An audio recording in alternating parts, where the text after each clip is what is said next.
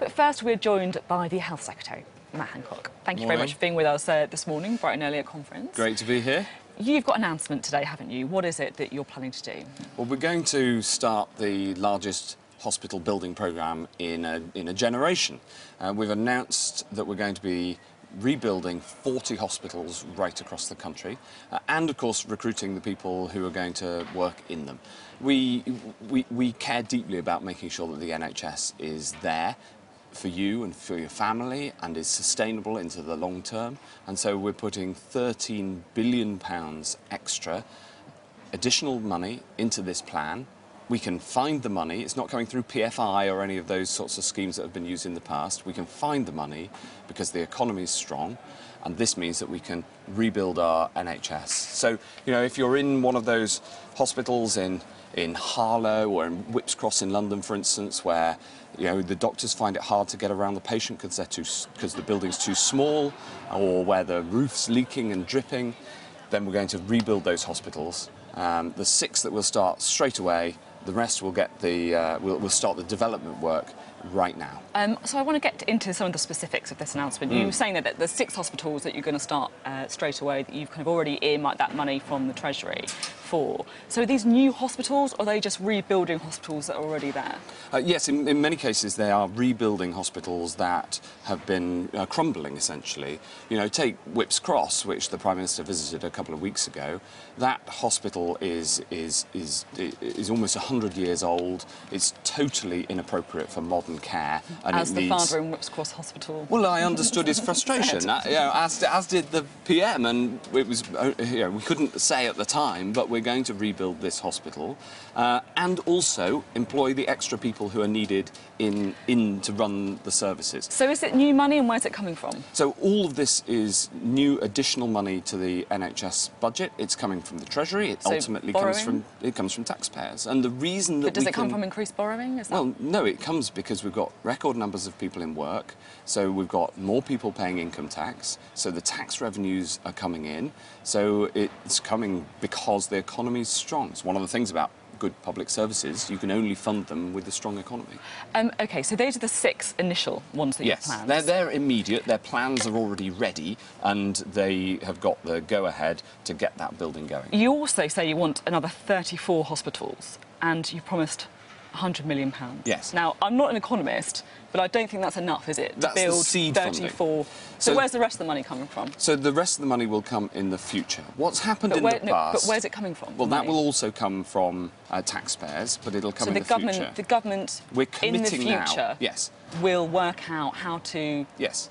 Come up with these extra billions of pounds. Yes, that's exactly right. And uh, let me well, explain. why are you announcing them now? Well? I- wouldn't it be a let- bit? Wouldn't it not be a little bit more honest to say, look, we've got six hospitals that we're building. We've committed this money.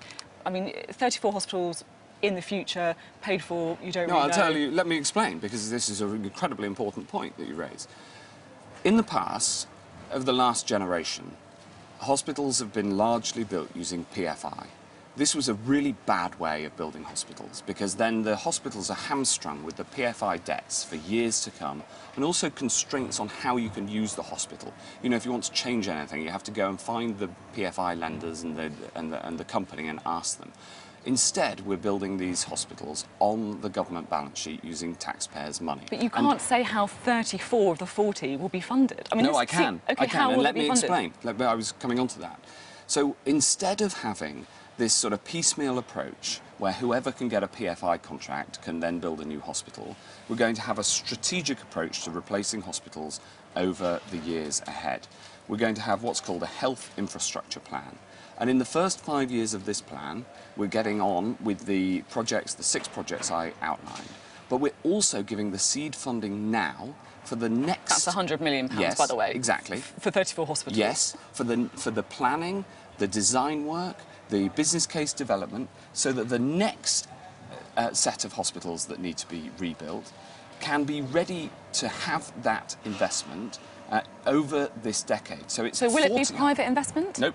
No, Taxpayers' no, money. all taxpayers' money. Yes. I'm So the- still really confused as to where this money really is coming from. It's straightforward. It's really from. We're talking about strategic plans, Yes. seed funding, Yes. but you can't tell me where the money is coming from. Yes. The Treasury hasn't given it to you yet. No. The Treasury is committed to supporting these projects. We have to, we Well, have to six design hospitals them. No, no, no. the government is giving the go-ahead to the all 40, and we're giving the, the, the, the money immediately to the first six, and for the, the following 34, we're having a strategic pipeline so that we can. What does that mean, It me- strategic I- Let me, pipeline? let me. I'm explaining, but you keep interrupting. It's, i- i- and that makes it harder to explain.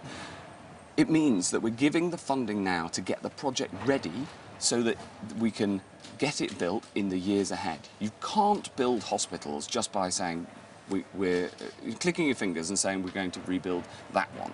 Okay, there are hospitals around the country. Take Derriford in Plymouth, a hospital I know well. I've done a night shift there. Brilliant local MP Johnny Mercer. That hospital is clearly coming towards the end of its life and it has problems uh, in terms of the physical infrastructure. But it, they haven't got a plan that if I said, you know, here's, here's the money, several hundred million pounds, for them to immediately get going and rebuild it. They need the architects, they need the design work, they need the planning, they need to make sure they've done the business case so the money's spent wisely. I'm giving them the seed funding now to do that work so that Okay. so that over the next decade they can rebuild. They don't need the new hospital immediately, but they need to know that it's coming. Okay. That's why I describe it as a strategic approach. Instead of, you know, piecemeal who's ready to build a hospital, I'm saying we'll get going immediately on the first six and, the, and then we'll have a pipeline for all of the rest over the decade to come. Uh, as a nation, we're getting fatter. Is it time to extend the sugar tax? Well, the evidence on the sugar tax is incredibly powerful, and it shows that there's a very significant reduction in the amount of sugar that people It's working. uh, drink. It's working. It's successful. Uh, we've said that we will have a formal review next year. We said when we announced the sugar tax uh, a few years ago that we would review it in 2020.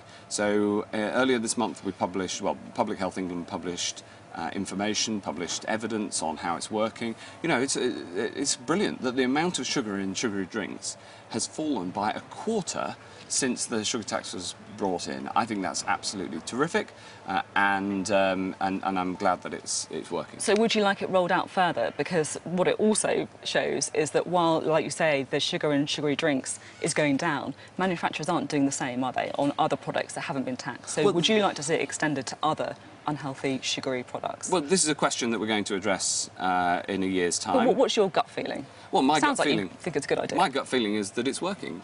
Okay, thank you. Um, now, I just want to go through, talk a little bit more widely, uh, away from your brief, about some of the other things, because of course, you know, we've sort of spoken when you were uh, running for leader yourself. A lot has changed since then, and I just want to look back at some of the things that you said when you were pitching for the top job yourself. So in June, uh, when you were running to be Prime Minister, you said, no deal is not a policy option available to the next Prime Minister. The real choice is between leaving with a deal or no Brexit. Is that your view? Well, I think that uh, I've said before that I think that um, that I was surprised after saying that by Parliament not voting in the summer uh, to prevent no deal. But clearly, Parliament has made its view clear in the Benn Act that was passed at the start of this uh, start of this month. Um, I think that the best way to leave is with a deal. Absolutely, I've always thought that. But we've got to get Brexit done so that we can get on to delivering on all the other things, like the NHS, which I'm responsible for, like on schools and the extra 20,000 police. So is your, so I, I is your view then that I, I- can tell that you think leaving with a deal is the best option, Yes. but what's the choice? Is it between leaving without a deal and not leaving at all? Well, we've got- Or is no deal, do you think, realistically on the table? We've got to get Brexit done. I think, yeah, absolutely, no deal uh, may well happen. So you've changed your I'm- mind then? Yes, I have, and I said that uh, um, a few weeks ago. I, I absolutely think um, we have got to get Brexit done. I made that. That's the other argument I was making when I was running. We've got to get Brexit done so that you can then get on to all of the other things. You know, the public is deeply frustrated with all these rows about Brexit, all the noise in politics at the moment, and uh, and and all of the. Uh, all of the language. Let's get Brexit done because then we can get on to things like the NHS, which unite people rather than divide them. You mentioned the Benn Act. This, of course, is the move by MPs to try and compel the Prime Minister to extend if he can't get a deal rather than leave with no deal. Do you think there's loopholes on that, or do you think the Prime Minister will have to obey the Benn Act if he can't get a deal? Well, the, clearly, the Prime Minister and the government uh, will obey the law. But we've got to also we've got to get Brexit done. And the So best, what does obeying the law? Does, does that mean Well, asking means- for an extension if you can't get a deal? Well, the best way through all of this, Sophy, is to get a deal. Yeah, I- I know that's and, what you and think. that's I what we that's should think. be. But that's what what we we- are working towards. But what if you Uh, can't? Well, we've still got to get Brexit done as a country, right? There are people out there who say, let's have a second referendum. But the, that doesn't solve Brexit at all. That would just prolong the row for, for even longer. And there's people who say now, people who just say, we'll just revoke. Well, that wouldn't solve this political row about Brexit in this country at all. We're a democracy. And in a democracy, when the people vote, whether you agreed with them or not, you follow the result. And they voted to leave. And so people like me, who voted Remain in that referendum, we should listen to the result, we should act on the result, and let's get this done. And then we can move forward. You talk about uh, living in a democracy. Um, we're a parliamentary democracy, of course, and during that campaign, you also said to suspend Parliament explicitly to pursue a course of action against its wishes is not a serious policy of a Prime Minister in the 21st century. It undermines parliamentary democracy. It goes against everything that those men who waded onto those beaches fought and died for. I mean, I'm not dredging up quotes from the distant past No. I- this I- is things you said a couple Yeah. of months ago. And, I mean, and this proposal at the time was to was to prorogue, suspend Parliament all the way through to the first of November, and the instead, Supreme Court and- against you. Well, instead, we Parliament sat for the first two weeks in September. It passed a law during that time, so Parliament has been able to express its view. It's sitting, it's sitting next week, even whilst Conservative Party conference Well, is on. uh, So- because the Supreme Court ordered it to sit yeah, again. It's not what? because the Prime Parliament's Minister come, Parliament's come back. um, the back end of last week, and it'll be there this week. Last week, it, it sat for two days after the Supreme Court quashed the prorogation decision. We didn't. We only had one vote on one thing, which was whether to have a recess this week. There was there was no um, there were no votes on substantive issues, the, and the, there's a reason for that, and that is that the moment to get a deal to deliver Brexit with a deal is the European Council on the 17th of October. Until then, we don't have a new proposal to have a vote on in Parliament. We've let's had talk- hundreds and hundreds of hours Let's of debate talk. in Let's Parliament. talk about so some of the let's things. Get that deal. Let's talk about some of the things that Parliament did talk about um, in that time uh, when it was recalled, uh, because there was some very passionate debate about abuse, about MPs feeling worried for their safety. Um, Paula Sherriff, Labour MP, said, We stand here under the shield of our departed friend, Jo Cox. Many of us in this place are subject to death threats and abuse every single day. Let me tell the Prime Minister, they often quote his words. The Prime Minister replied, Humbug. Is it humbug? Well, I, you're actually only partly quoting it, so it's a bit unreasonable, Sophy. You've what else? To, what else should I, should I have put in? Well, you should have the, fi- the final sentence okay, so question. so let me tell the Prime Minister that they also quote his words, surrender act, betrayal, traitor. Is that the bit you mean? Yes, because the look, I think it's totally reasonable to call the the the Benn Act a surrender act, the surrender act, right? And that's because that literally describes Is it humbug, what it though? does. Is it humbug? Well, the, the I mean, that's very there- dismissive, isn't the, it? The Prime Minister there was referring to um, calling the Benn Act the Surrender Act. He thinks that's perfectly reasonable. I think it's perfectly reasonable.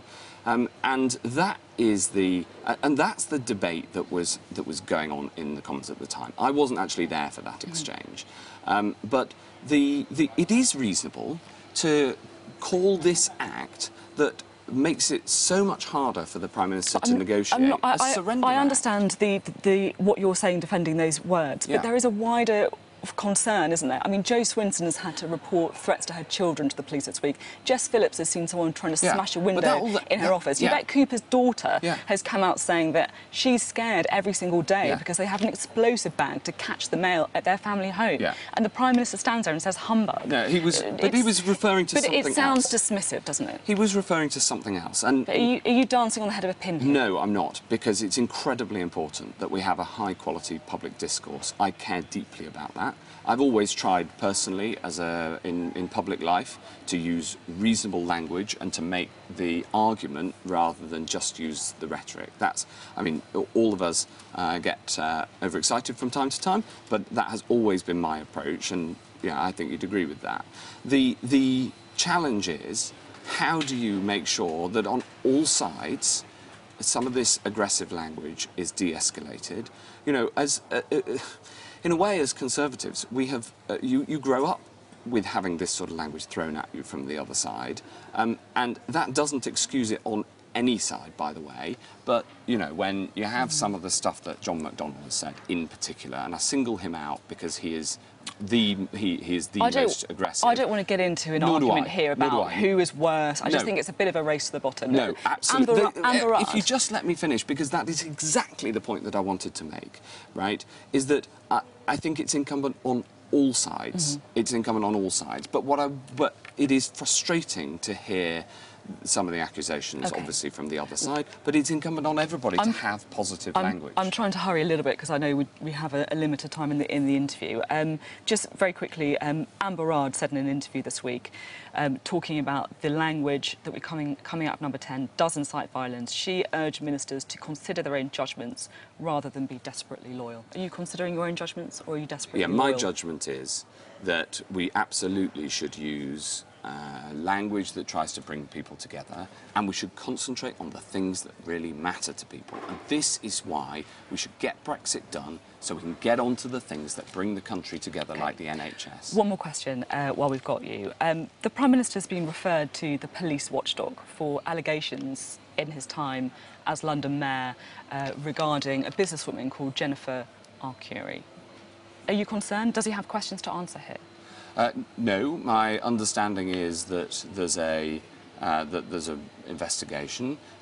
All of the monies, any monies involved, uh, went through proper due process, uh, and this was from a long time ago. I think actually the message that you're going to get out of this conference is one of that's forward-looking, that's positive.